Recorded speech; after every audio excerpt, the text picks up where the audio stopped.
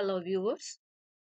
In this lecture, I'm going to explain how to approximate a fractional integral and how to use that approximation to derive a formula called fractional forward Euler's formula or fractional forward Euler's method. So in fractional calculus, we have an integral known as fractional Riemann-Liouville integral of order alpha, it is defined by this equation. The fractional integral operator such as the one shown here is useful for converting the fractional differential equation into integral differential equation. So let's suppose we have a function f of t that belongs to a class of functions which are continuous on an interval given as an interval from 0 to capital T. Delta T stands for the step size which is computed as, as the length of the interval which is capital T divided by number of iterations where n belongs to the set of natural numbers and t sub k is equal to k times this step size. This will determine the next time step. While k is from 0 to n minus 1, it means there are total n values of k. So suppose that f of t be approximated by a certain function denoted by f tilde of t. Naturally, we come up with a polynomial interpolation for the function on the given interval. So for t is equal to t sub n in RL integral, we have this equation. And this equation, you can see the integral can be broken into several integrals. So I can write the first integral as t naught starting from t naught to t1. In this case, t naught will be equal to 0 plus the second integral from t1 to t2 and similarly you can write down the last integral as you can see on the screen. And sum of all of these integrals can be written by this last equation using this summation sign where k starts from 0 to n minus 1. If you apply these terms on the integral, you will have all of these integrals given in this step. Now, fractional rectangular formula can be derived in this way. The function f of t is approximated by a constant and that constant is taken as f of t sub k.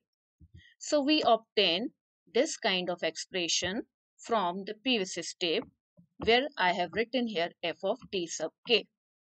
Now, integrating this term given in the bracket this whole term Tn minus tau power alpha minus 1. Use simple power rule of integration. You will have this expression and using fundamental rule of calculus, you can have this step now where I have simply applied the upper limit minus lower limit.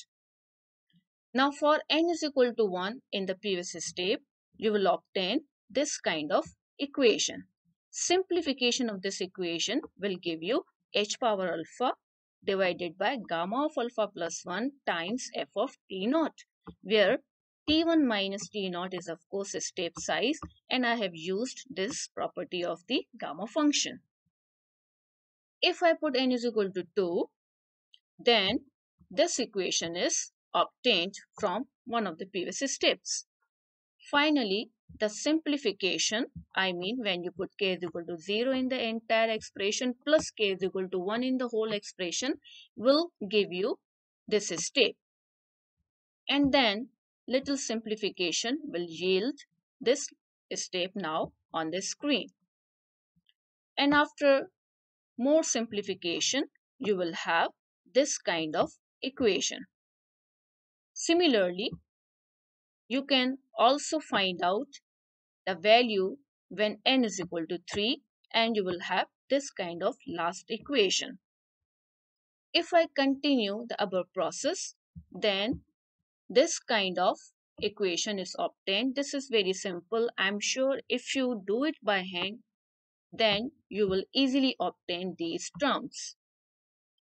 So generally, we have this expression for the fractional rectangular rule.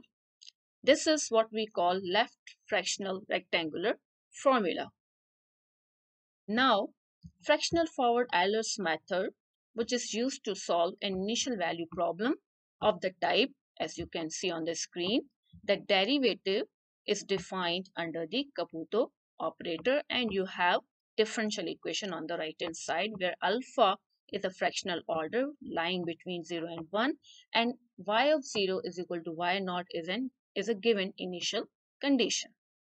So converting this initial value problem to Volterra integral equation, we will have this equation as you see on the screen. So this is nothing but simply I have used the inverse differential operator on both sides. After that, if I replace this second term in this equation where I'm moving the cursor, if I replace it by the fractional rectangular formula that we have just derived, then you will have this last equation. And this last equation is what we call the fractional forward Euler's method.